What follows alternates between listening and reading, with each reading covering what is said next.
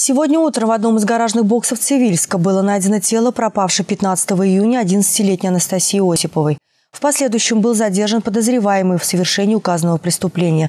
Им является 23-летний житель города Цивильска. По сообщению Следственного комитета республики, в настоящее время продолжается проведение следственных действий, в том числе и с участием подозреваемого.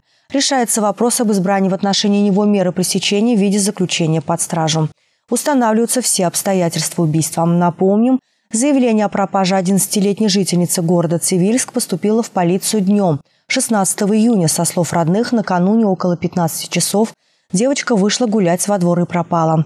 В поисках ребенка участвовали сотрудники МВД, иных правоохранительных ведомств и волонтеры. Расследование продолжается.